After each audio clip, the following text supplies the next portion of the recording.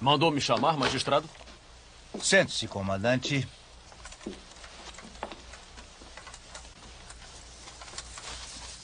Recebi esta carta pelo correio especial. Pode lhe interessar. Ah, e de quem é?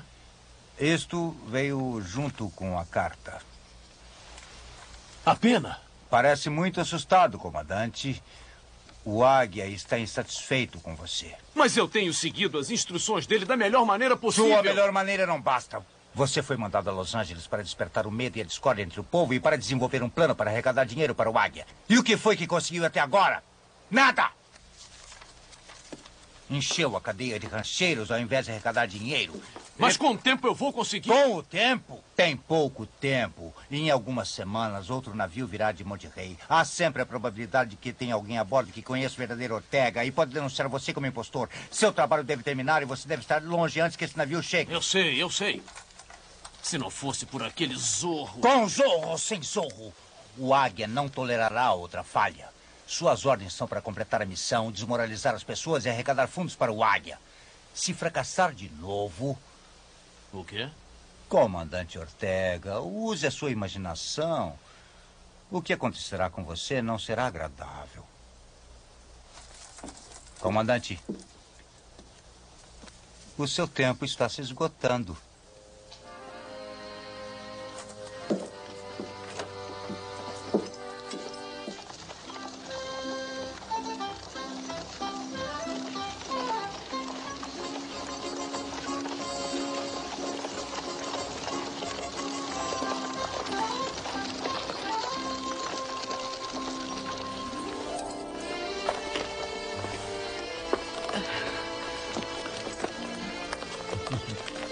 Pode comprar frutas e legumes, Amélia. Está bem, senhorita.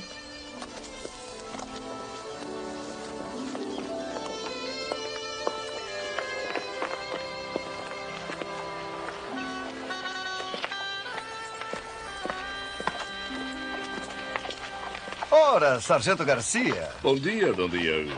Creio que se lembra da senhorita Cortez. Mas é claro. Se passaram dez anos. Sim, senhorita. Era apenas uma menininha deste tamanho. É. Oh, me perdoe, senhorita. O que é isso, sargento?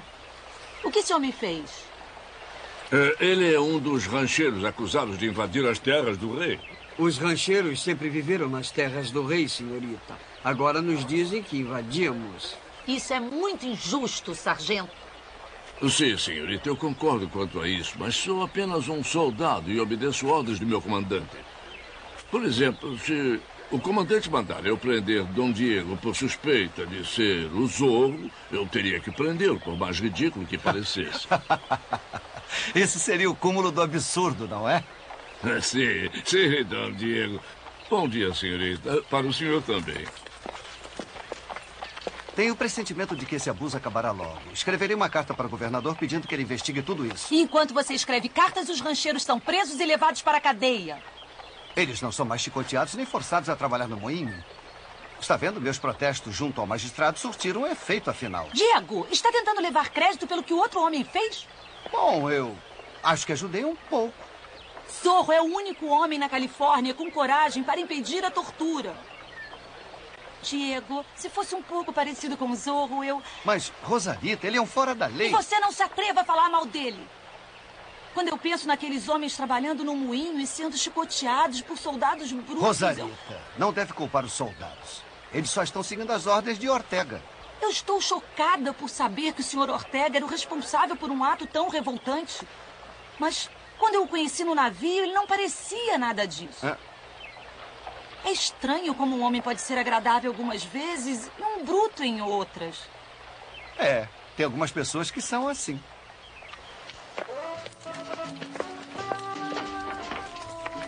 Sargento, será que podíamos parar na taverna e comer alguma coisa? Oh, mas eu já comi duas vezes hoje. Eu ainda não comi nada hoje. O quê? Não pode tratar seu pobre estômago assim, Sr. Fortuna. Se alimentará imediatamente. E eu sugiro que peça um prato reforçado. A comida da cadeia é péssima. Nem cachorro gosta. E ainda vem em pequenas porções. Obrigado, sargento. Mas vai ser difícil usar os talheres. Ah, claro. Um homem deve ter total liberdade para comer à mesa, é? Quando terminar de comer, eu estarei esperando.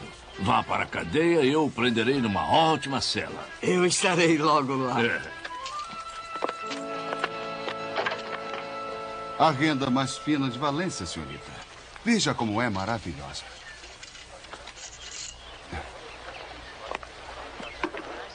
É uma lâmina italiana, Dom Diego. Uma excelente compra. Provavelmente, mas o que, que eu faço com isso? Repare o trabalho ornamental no punho. Hum. Está segurando de maneira errada, Dom Diego. Me dê.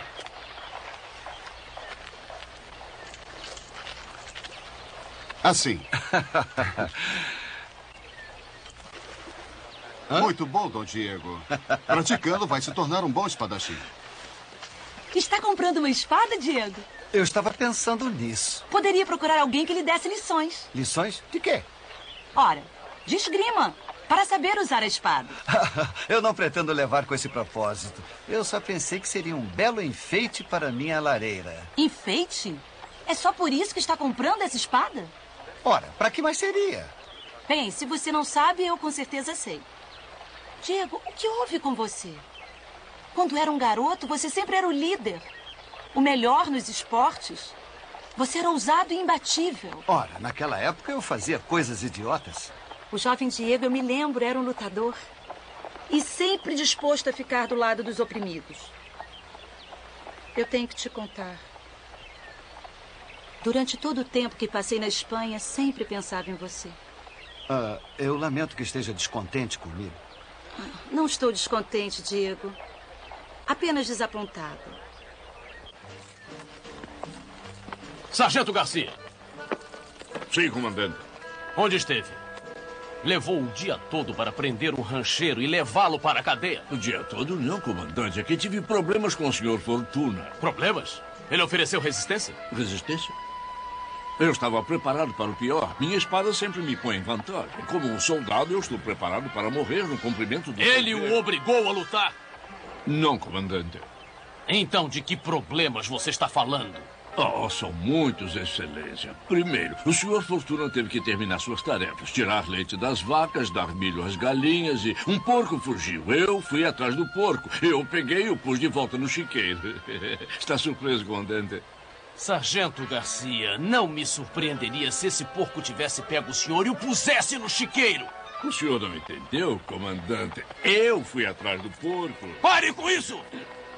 Onde está o prisioneiro? Na taverna, almoçando. Na taverna, almoçando? Prisioneiros não almoçam em tavernas.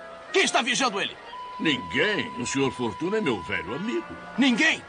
Um prisioneiro numa taverna almoçando sozinho, sem guardas? Mas ele me prometeu que não fugiria. Você é um idiota! Venha comigo!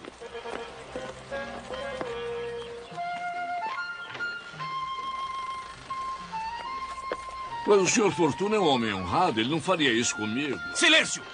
Você me irrita tanto quanto o Zorro fazendo essas besteiras. Eu até poderia pensar que você é o Zorro se não fosse tão gordo.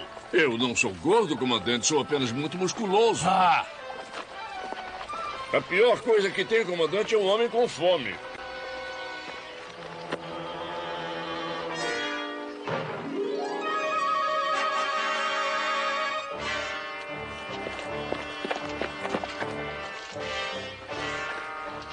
Comandante? Comandante!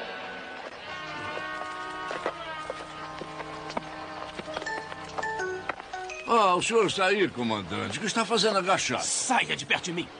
O senhor se machucou? Espere, vou ajudá-lo. Sal, me solte, idiota. O chão sempre fica escorregadinho depois da chuva. Se bem que não chove há alguns meses. Oh, um choveu. Enfrentará a corte marcial por isso. Os comandantes, o senhor nem me deixou tirar sua poeira.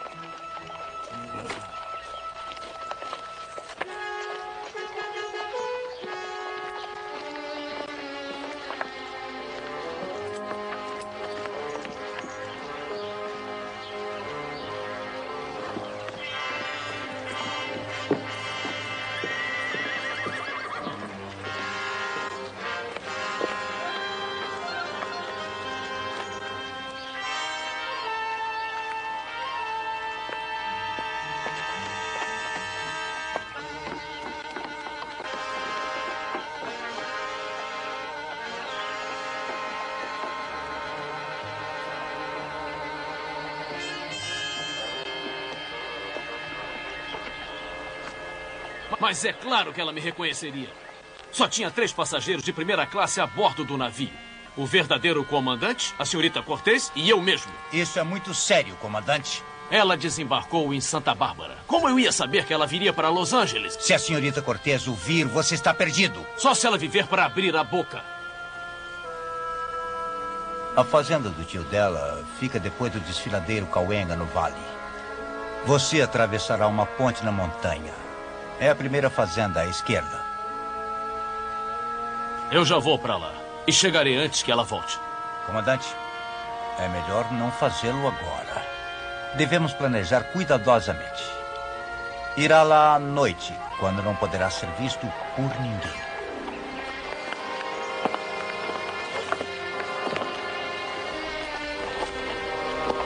Onde está Bernardo? Não estava aqui quando a senhora chegou? Não, Dom Diego.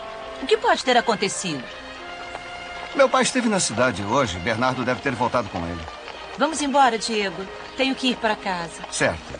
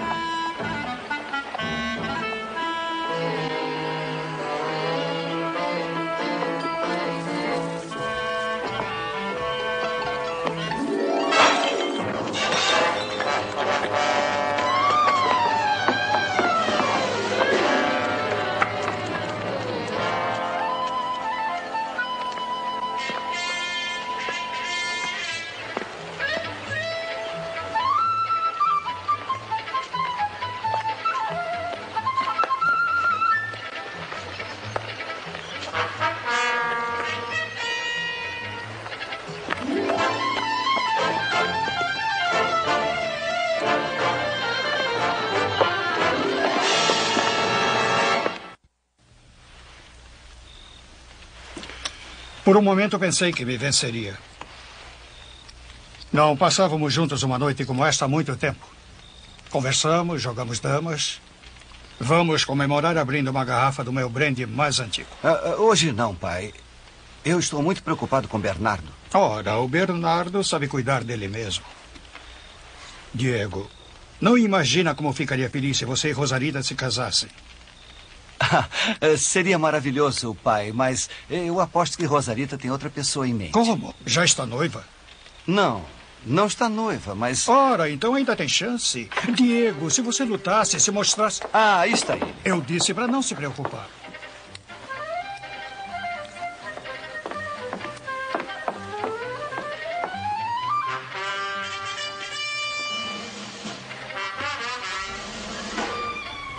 É a sua vez. Ah, papai, podemos terminar esse jogo outra hora? Ah, não. Você sempre vive fugindo do jogo, mas este nós vamos terminar.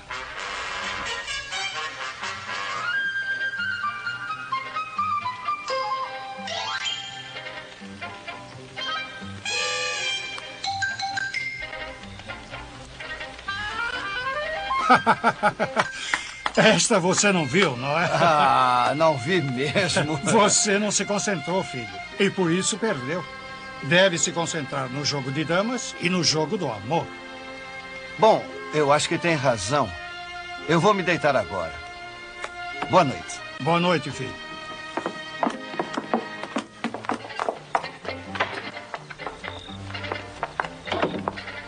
O que é tão importante assim? Rosarito?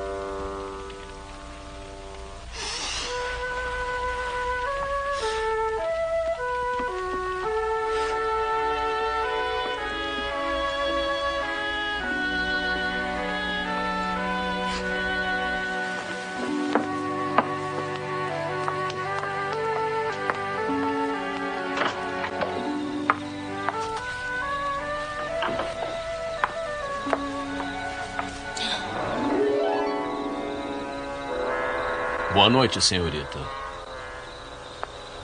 Quem é o senhor? Não se lembra de mim? Olhe bem para mim. Não está me reconhecendo? Ah, claro que sim. Viajamos no mesmo navio desde Monterrey. Sancho Fernandes, às suas ordens. Está um pouco tarde, senhor. Ah, o que faz aqui? Vim aqui para apresentar meus respeitos à senhorita e, e à sua família. Eu acho melhor voltar outra hora. Não é bom ficarmos aqui sozinhos. Aposto como seu tio poderia nos acompanhar. Ele está em casa, não está? É, não. Foi visitar uns amigos essa noite. Então, talvez um de seus criados. Estão todos dormindo. Por favor, eu peço que vá embora. Eu a vi no mercado da praça comprando esse chale. É muito bonito. Por favor. Por favor. Zorro!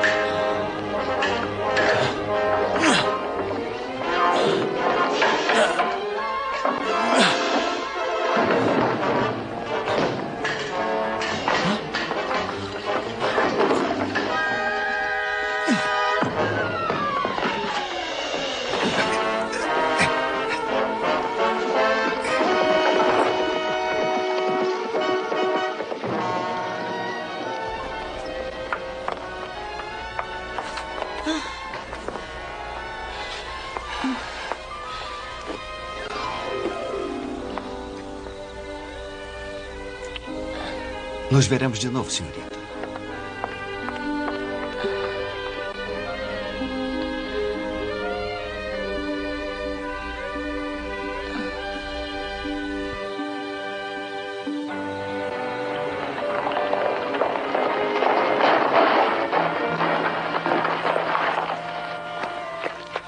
Alto, senhor. Não pode subir. Ordens do comandante. Seu imbecil, eu sou o comandante. Ah, é? Está dispensado do serviço. Vá para sua barraca. Sim, comandante. Eu sim.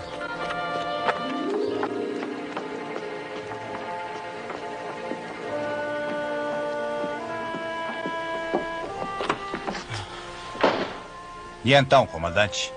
Teve sucesso em sua missão? Minha carreira como comandante acabou. Você falhou. O tempo está se esgotando. Preciso de dinheiro. Portanto, eu levarei o que você guarda em sua mesa. O quê? Vai roubar o ouro que é meu? O ouro, magistrado, ou eu ponho uma bala em sua cabeça.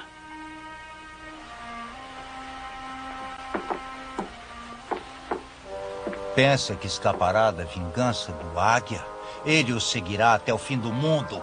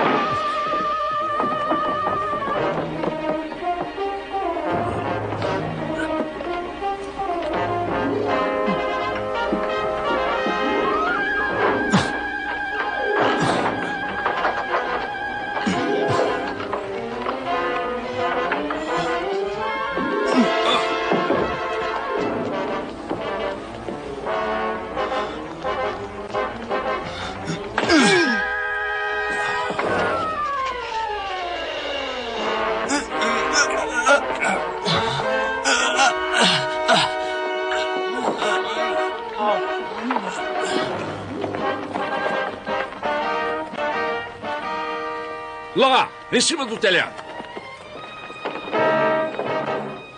É sua metade deste dinheiro. Deixe-me fugir. Por que eu ficaria com a metade? Se posso ter tudo! O Zorro está com o comandante. Não atirem, idiotas, para acertar o comandante. Até que não seria uma má ideia, mas não é uma boa prática militar. Ou é? Não.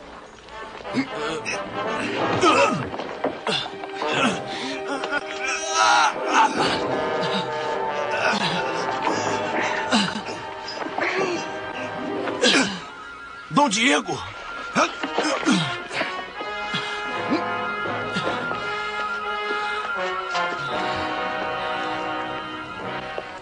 Dom Diego! Dom Diego! Não!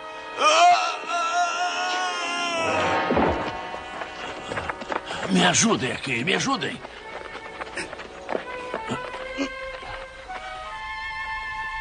Está morto.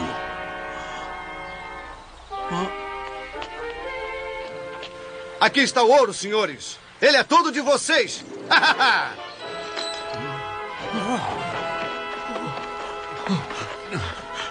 Sai.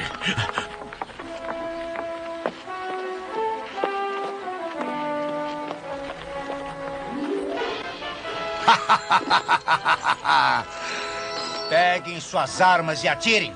Atirem! É o Zorro!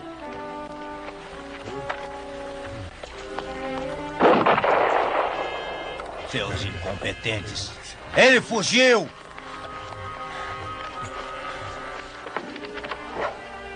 Adeus, Amélia. Adeus, Dom Diego.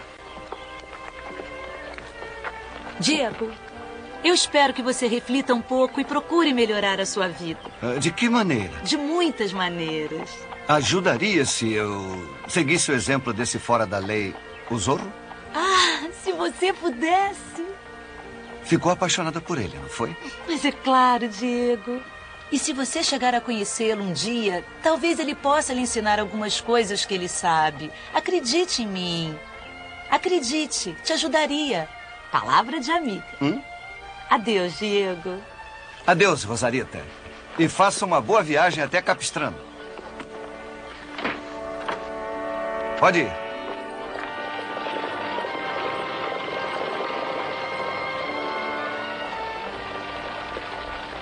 Bernardo, já sentiu ciúme de si mesmo? Eu acho que o Zorro conquistou o amor da minha infância.